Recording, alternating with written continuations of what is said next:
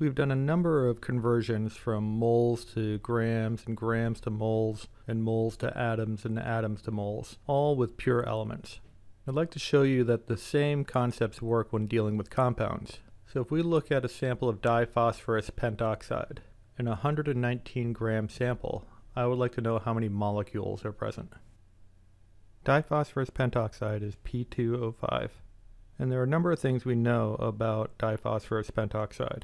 First, one mole of diphosphorus pentoxide is going to contain 6.022 times 10 to the 23 of those little particles. Now previously we said a mole of something contained Avogadro's number of atoms because we were talking about pure elements and a little particle of a pure element is an atom.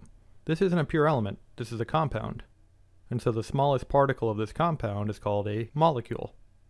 So one mole of diphosphorus pentoxide contains Avogadro's number of particles, in this case Avogadro's number of molecules.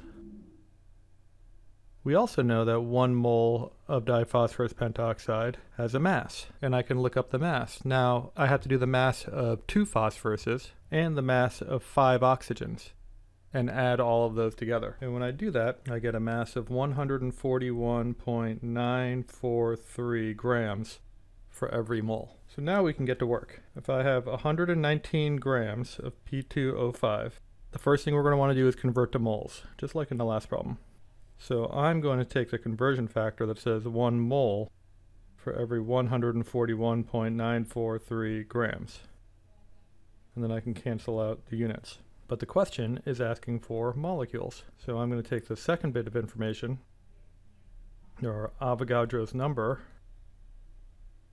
of molecules for every one mole, I can cancel out my moles, and now I'm left in molecules. And when I do that, I get 5.05 times 10 to the 23rd molecules. Let's do another problem with diphosphorus pentoxide. This time we're given 4.88 times 10 to the 23 molecules of the compound, and I want to know the mass that will be present. We're using the same compound, diphosphorus pentoxide, so we can use the same information that we used in the previous question. We know that one mole of diphosphorus pentoxide contains Avogadro's number of molecules. We also know that one mole of diphosphorus pentoxide has a mass of 141.943 grams from looking at the periodic table. So I'm going to use that same information to solve this problem. This time I'm starting with 4.88 times 10 to the 23 molecules.